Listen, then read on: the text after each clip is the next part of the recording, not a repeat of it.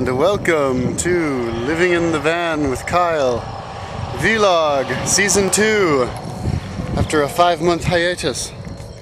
It is, um, the day is now, oops, the day is now the uh, 6th of June, Wednesday, so I am out here in the pasture. What I will see to come pretty soon in kayak trip. Big wide open beautiful spaces. There's the car that I shall sell in Houston when I may. And uh, so I guess I'll give a little uh, talk about what I've been up to because it's been a long time since I uploaded the video. Look at my car. Isn't it nice? Don't you think somebody want to buy this? Yeah. Look at the immaculation. The ultimate living room. Take your shoes off before you come in my house. so, put the table up. And I guess I shall give you a vlog of what I did. So, vlog, living in van vlog. Um, yes, I left the house today. Um, my mom suddenly kicked me out, pretty much. Um, the first words out of her mouth about two days ago were, You've overstayed your welcome. I was like, oh. So first she was like, You stay with your brother. And then I was like, Hmm. But then I was like, No, I think I'll just get a move on and do my road trip. So, um, here we are on the side of the road. I'm on the side of the road because the car broke down. And I'm waiting for the tow truck to come. Lady called about five or ten minutes ago and said it would be a half hour, so I guess they're gonna tow it to Hays, Kansas, and then I have it fixed. I was driving down the road and I felt this snap and this vibration right at my feet. So the, uh, and then the car just lost power. So uh, the uh, the throttle cable broke.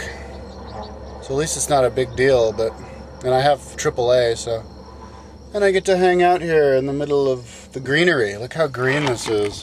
This is what I love about my van. Like I can be, um, you know, I can be in the middle of like beautiful nature, like right at my doorstep, like that. You know. But inside, it's a cozy house at all times. It's great. You even have the pop up up there, and the bed, and your music. It's little storage area back here. It's badass. So, anyways, so what have I been doing? So, the last time I did speaking video was when I, I was Hitler about two months ago, and then before that, yes, it'll be like I've been in my house. I've been in my mom's house. I've been there for uh, four months. I was there. I got there at the beginning of uh, February, and um, when I first got there, she was like, "Yeah, you'll be here probably a month." And I was there for. I could have been there a month as far as preparing for my kayak trip and stuff, but I had a look at my personal website and I was like, I and I looked at all the pages and I realized that I never finished any of them. Like it was just this whole collection of all these unfinished pages. So, but it was fun for me to kind of um, fix them all and make them all look um, um, standard, standardize them all. So, and I think I found my voice. I think I found the the uh, the uh, website design that I want. So, but that's another video. But that's what I was doing. About a week and a half ago, I started running every day, and that was nice. I finally started running because I just started feeling so much pain, like in my body, especially in my arm. And I thought maybe it was like atrophy pain, but could have been from like compression too, because I'd be doing work on my computer, or lay on my belly with like the big pillow and maybe a little bit of compression on it, but I don't know, carpal tunnel or whatever. Anyways, I started to feel, and then I would feel like all this energy getting stopped up in me, and it was like weird, like I couldn't even hold the mouse steady because my arms started shaking, and so I was like, fuck, dude, I need to get some exercise. So I started running, and I ran. I think it was like 46 minutes or something. The last time I did it was took me 49 minutes to run four miles. It's two miles out, two miles back on this really badass trail. next to a river with fields like this all around, and a lake there, and a little uh, groundhog colony over here, and dirt dirt trail all the time.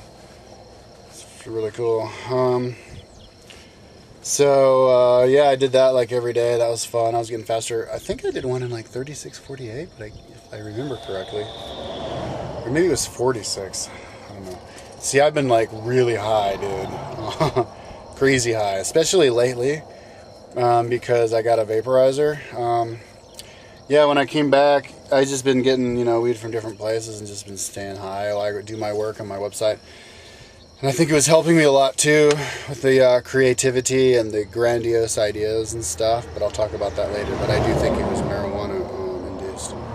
Um, yeah, and also like the willingness to put all that detail into it. But anyways, um, and but the last months I haven't been listening at all to any audiobook, any any MP3 at all. Not since my car broke down. I haven't been doing any of that the last five months. No education for me. It was I've been listening to music. I've been getting like listening to songs I have, and then getting songs off the internet, and then listening to them and listening uh, off YouTube, and then listening to them over and over and over and over again, like the same song, like like for like five days, the same song over and over again for some reason. Like getting myself into some like mindset. I, but I've been listening to like lots of different kind of music too. Sometimes the radio, but radio these days I don't really like. But I was like. Uh, tripping out, you know, being all high and listening to music. It was like the feeling of the song of the cosmos reaching a crescendo. I think there's a lot of energy going on right now. I saw that guy uh, Christopher Witecki on um, I can't remember what it's called that one site. And he said Capricorns are like experiencing lots of energy for the next two months. He said that like a month ago or something. So, so now's the time to do it. He's like, so now's the time to strike. If you wait two months, then you're not gonna be able to strike. So I'm like, okay, cool. Now's the time to strike. Yeah, because I need the mood. I need, it'd be cool to do it. It's a perfect time. So, uh, yeah, that's pretty much all I have to say about what I've doing, what I've been doing. I've been having fun with my mom, doing lots of work for my mom, helping my mom out. I didn't lose any money living with my mom. She's been giving me free room and board because I've been helping her out and stuff, like, you know, helping out organizing the house and all that kind of stuff, and website help business and stuff like that. Um, so. Uh, yeah, I'm about $10,000 in debt right now. About the same as I was when I first got Because I bought a lot of stuff for my kayak trip too. Um, so, uh, yeah, so I'm gonna, so let me tell you my plans. Okay, plans are to, um, uh, well, I still have some preparation to do for my kayak trip. Uh, I went out to the um, reservoir yesterday and uh, I was spent all day trying to organize my stuff and find out where to put my stuff, and I didn't know, couldn't find a place to where to put it. And then we finally left. I didn't even put the thing in the water, and so I was like, "Fuck!" I was gonna leave tomorrow, so I was like, "You know what? Let's just go out and have a like, go out to dinner, have our like get a uh, farewell dinner like tonight because I want to leave tomorrow because I don't like. I just need the time to myself." So I think I'm just gonna go to like a park where the lake is and just like put the boat down and like organize everything, taking my time, living out of the van, like kind of like how I did that with my web my, my history timeline. Just take my time, lay it out, and even get in the butt water because I haven't done the flip test with it fully loaded yet. So and yeah, and like calculate how much you know water, uh, weeks, days of food I have I can put on there and all that kind of good stuff. But uh, anyway, yeah, and then I have to uh, write up a uh, a for sale thing with all the information for my car, which I haven't done yet. But anyway, as soon as I do all that, I'm going to uh, put the ads out as many places as I can and stuff in Houston because it's a big city in America, like the fourth biggest in America, and uh, seems like they have money. They got like NASA there and all that, and so hopefully I'll be able to sell my car there. And that's like an hour from Galveston, I think. So then whoever buys my car drives me and drops me off on the beach in Galveston, and I can go, and I'll be out of debt and over money. Um, and start making money with my YouTube. Uh, I haven't.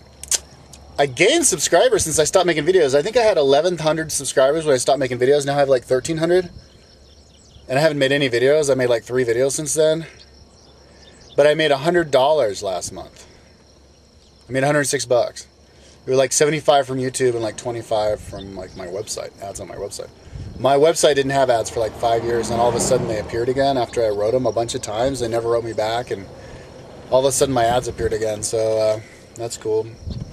So I put those on, so maybe I'll make some more money with that stuff with my show. My brother is in film cinematography school, and he was telling me yesterday that he's going to he's going to edit and upload all my videos. All I have to do is send him the SD cards. See, my mom was going to do it, but she's not very good with computers, so it was a little bit sketchy. But now my brother's like, "Oh, I'll do it," and uh, so he's going to like. Like he interviewed me yesterday, and he's gonna do like um, my voice and then like really fast with me organizing my stuff. And when I send him back the videos, he's gonna like put words on them and all that kind of stuff. So it's gonna be cool, man. Um, it's gonna be cool for me because I get to have cool YouTube shows going out, and I don't have to do anything. All I have to do is go record and then just mail it and be like, and like be separated from the computer. I'm really excited for that. I'll talk about that when I talk about my kayak trip. But uh, yeah, like to get in shape, you know. I'm like in the worst shape ever of my entire life right now, so I'll definitely make sure to do like a physical fitness test so I can monitor my improvement. But um, but yeah, I've been I've been wasted high for so long. It was it was really cool. Listen to the same music and over again. I, I, I saw that heard that uh, Ellie Lights from Ellie Goulding on the radio. So then I downloaded that and I heard that a bunch. And then I heard some other songs from her. And then there was that other song, um, "Glad You Came" from the Wanted that I heard over and over again. And then the Beastie Boys, the new Beastie Boys album that I got off YouTube, and some other stuff. But um, I have some music with me. But yeah, I'm gonna I'm gonna start listening to my uh, audiobooks and stuff again pretty soon. Um, so uh, yeah, and then like a week ago or something, I got a vaporizer, and it's this plug-in type of vaporizer, and it like uh, it's like this tube looks like a hookah, and it like burns the weed to a crisp. And the, but the weed that comes, the smoke that comes out is way better than even a bong. Like, because when I first started running, I wasn't doing the vaporizer, and then the half second half of my running, I was doing the vaporizer, and like I was having totally horrible asthma for the first like um, three miles, and then I could finally breathe. Then I started smoking out of the vaporizer. I could run the whole thing, no asthma problems, you know. And I, maybe I'd have like a little asthma problems if I like got wasted roasted like right before the run, you know. So Stuff is amazing, dude. You can like adjust it up to 500 degrees, you know, and it burns it all. I mean, it, it conserves better than a pipe. I mean, there's no resin or anything left in the, anywhere in there. Well, a little bit of cruise, but yeah, dude, it's amazing. Um, anyway, but I've been wasted roasted for five months, and especially for last week, like I got like blown out. One day I got so high that I slept all day. It was like two or three days ago, three days ago or something. I just slept all day. I was just like, and I had to be drinking like tons of orange juice to keep me awake and stuff. But orange juice, I love orange juice. But anyways, uh, so that's that. Here's my living room. Uh, it's like the last time I get to do my living room. So that's me. That's my vlog. It's pretty long vlog, 13 minutes.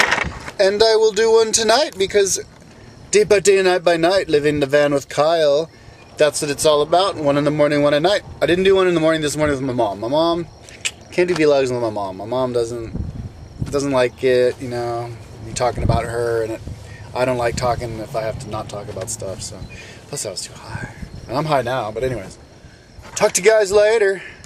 What's up? This is as much as I can do. My fuse blew out on my van, so I'll fix it tomorrow. So what happened was I called them and they like came an hour later and that dude he said he drove 500 miles a day and he'd been up since four. So he took me to the easier place, which is like 15 minutes back, and I went to see the movie, but it was starting in like an hour and a half, so I went back to my car and got high. Then I like went back there, but it turns out that I crossed time zones, so I missed the movie. It sucks because I got all high and I was gonna see Avengers for the second time in 3D, which is totally good whatever. So, anyways, that's that. Um, yeah, kind of boring when you can barely see my face. So we'll just, I'll get it fused tomorrow, and then yeah, next time it'll be you'll be able to see my face. Okay, peace out.